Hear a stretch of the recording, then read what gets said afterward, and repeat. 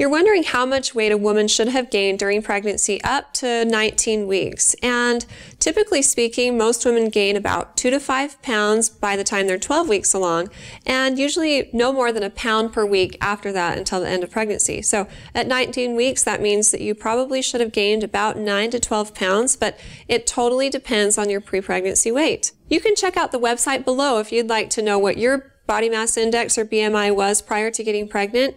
And based on what BMI you were before, it will tell you how much weight you should gain over the course of your entire pregnancy.